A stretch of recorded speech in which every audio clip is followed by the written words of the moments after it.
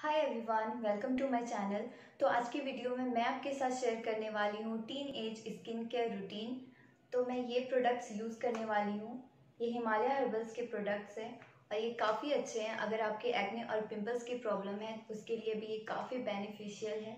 ये नीम रेंज की प्रोडक्ट्स हैं हिमालय के और काफ़ी अफोर्डेबल रेंज की हैं। आप देख सकते हो।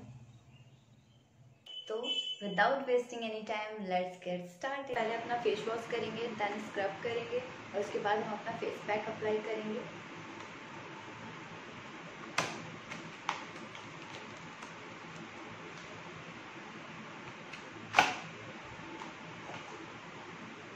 सबसे पहले मैं फेस वॉश करूँगी, और उसके लिए मैं अपने फेस को पहले वेट करूँगी।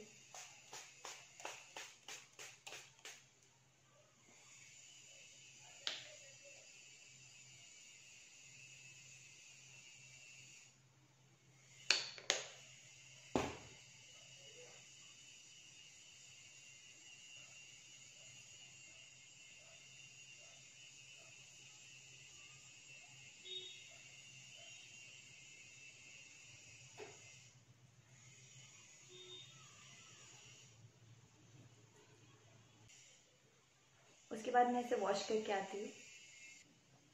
मैंने अपने फेस को वॉश कर दिया मैं अप्लाई कर रही हूँ स्क्रब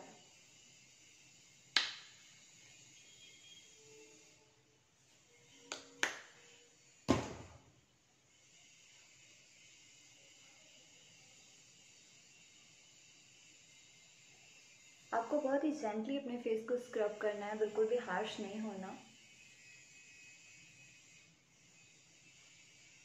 मिनट तक हम अपने फेस को मसाज करेंगे। बहुत ही जेंटली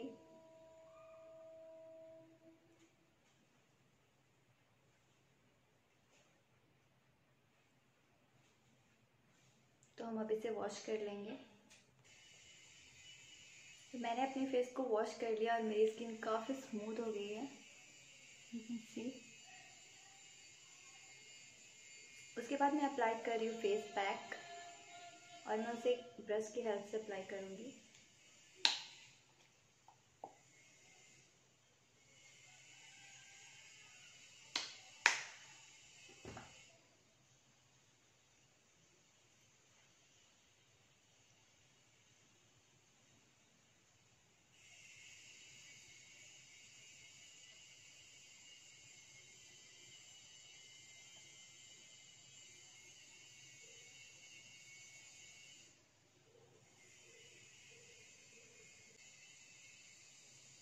आपको अपने आईज और लिप्स के अराउंड नहीं लगाना।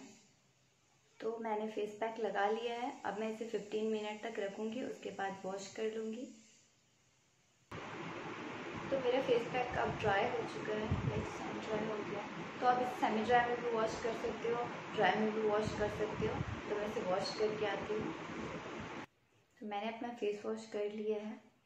अब मैं अप्लाई करूँगी गुड वाइब्स की हाइड्रेटिंग फेशियल मिस्ट आप रोज़ वाटर भी यूज़ कर सकते हो।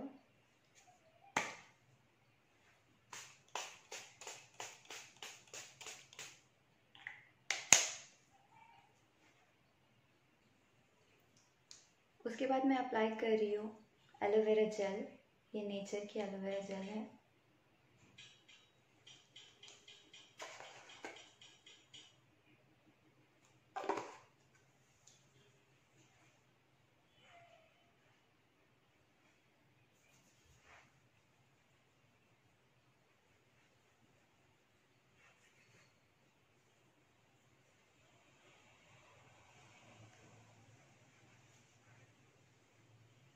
मैंने एलोवेरा जेल अप्लाई कर लिया है और देख सकते हो मेरी स्किन कितनी ग्लोइंग और अच्छी हो गई है।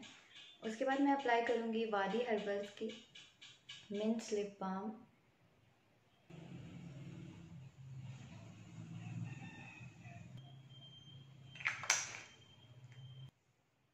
तो ये थी हमारी teenager skin care routine I hope आपको ये वीडियो अच्छी लगी हो। अगर वीडियो अच्छी लगी हो तो मेरे वीडियो को लाइक करें शेयर करें और मेरे चैनल को सब्सक्राइब करें. And thank you so much for watching